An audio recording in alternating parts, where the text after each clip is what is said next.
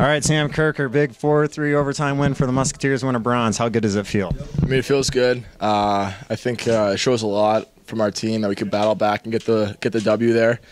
Um, it's not like the uh, the Clark Cup championship. We have three games to prove it. You get one game, and I think we battled hard, and I was proud of the team. You played the hero tonight, scored the overtime goal. Take us through it, how you scored that one.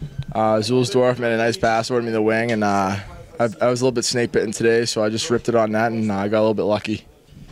Obviously, guys are disappointed with the last night's loss, and you got down early in this game, but the team battled back. How proud are you, the guys, for uh, for battling through? I mean, it's awesome. We have a lot of young guys, and um, it shows a lot from everyone to battle back together. And I don't think anyone was, uh, I didn't see anyone hanging their head or anything, so I was really proud.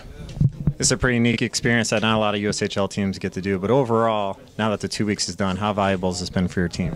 I think it's huge. Uh, I mean, not not a lot of teams. We're clearly trying to go for a run at the Clark Cup this year, and this is a good experience going into the season, knowing what it takes to win, and uh, I think it'll help us in the help us in the stretch this season.